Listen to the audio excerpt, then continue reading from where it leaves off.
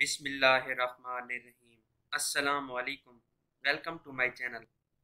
تو چلیے، آج کی ویڈیو کی طرف جو ہے ندامت کے آنسوں ایک سچا سبق اموز واقعہ۔ ایک خوش الہان آدمی سرنگی بجایا کرتا تھا۔ اس کی آواز پر مرد اور عورت سبھی قربان تھے۔ کبھی مست ہو کر گاتا ہوا جنگل سے گزرتا، تو چرند پرند اس کی آواز سننے کے لیے جمع ہو جاتے۔ ان بھول بھلیوں میں جب یہ عمر گزار گزار بیٹھا اور بڑھاپے کے ساتھ مدار ہوئے تو اس کی آواز بڑھاپے کے سبب گدی ہو گئی۔ تو عاشق کے آواز رفتہ رفتہ کنارہ کش ہوتے گئے اور نہ ہی اس کی سرنگی میں وہ سوز رہا۔ وہ جدھر سے گزرتا کوئی پوچھنے والا نہ ہوتا نام و شہرت سبھی رخصت ہو گئے۔ ویرانی اور نامی میں فاقے پر فاقے گزارنے لگا۔ اس پر بے کسی کا عالم تھا۔ مخلوق کی اس خود گزاری کو دیکھ کر ایک دن بہت غم زدہ ہوا اور دل ہی دل میں کہنے لگا، یا اللہ، جب میں خوش آواز تھا تو مخلوق مجھ پر پروانہ وار گرتی تھی اور ہر طرف میرے توازے ہوئے ہوتے تھے۔ بڑھاپے کی وجہ سے آواز خراب ہو گئی ہے۔ ہوا پرست اور خود گزار لوگ، خود غرض لوگ میرے سائے سے بھی گریزہ ہو گئے ہیں۔ آئے ہائے، بے وفا مخلوق سے میں نے دل لگایا۔ یہ تعلق کس درجہ اور فریب تھا؟ کاش اللہ میں تیری طرف رجوع ہوتا، اپنے شب و روز تیرے ہی یاد میں گزارتا۔ اور تب ہی، تب سے ہی، تجھے ہی، تجھی سے ہی امیدیں وابستہ رکھتا۔ اور آنکھوں سے آنسوں جاری تھے۔ اس نے آہ بری اور خلق خدا سے منہ موڑ کر دیوانہ وار مدینہ منورہ کے قبرستان کی طرف روانہ ہو گیا اور ایک پرانے غار نما گڑھے میں جا بیٹھا۔ روتے روتے روتے ہوئے اس نے عرض کیا، اے اللہ، آج میں تیرا مہمان ہوں۔ ساری مخلوق نے مجھے چھوڑ دیا ہے۔ بس اب تیری بارگاہ کے سوا میرے لیے کوئی پناہ گاہ نہیں ہے۔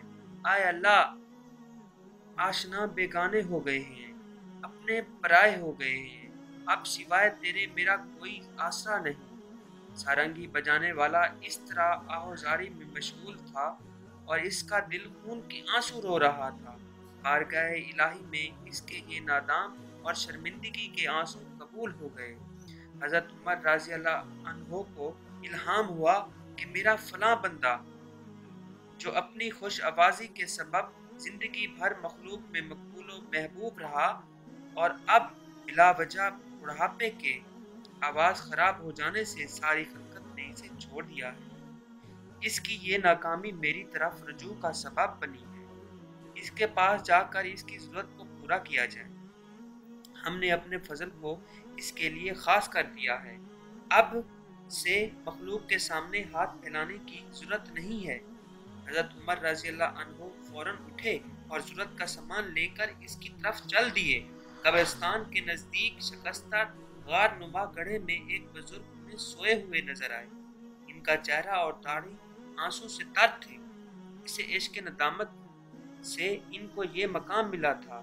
حضرت عمر رضی اللہ عنہ اس غار کے سامنے کھڑے ہو گئے تاکہ بزرگ بیدار ہوں تو میں ان سے ملاقات کروں۔ اسی اسنا میں حضرت عمر رضی اللہ عنہ کو چھینک آ گئی، جس سے اس بزرگ کی آنکھ کھل گئی۔ خلیفۃ المسلمین کو دیکھ کر غلبہ حیبت سے وہ کانپنے لگے۔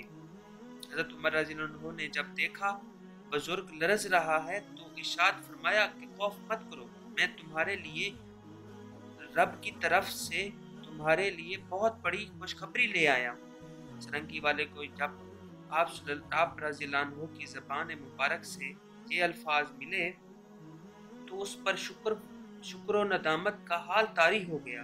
اپنے ہاتھ کو شرمندگی سے چبانے لگا، اپنے اوپر غصہ ہونے لگا۔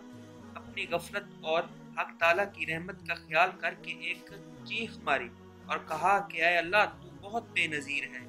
میں اپنی نالائکی اور غفلت کے باوجود آپ کی رحمت بے مثال کو دیکھ کر مارے شرم کے پانی پانی ہو رہا جب شرنگی والا بزرگ خوف خوب رو چکا تو اس کا درد حد سے گزر گیا۔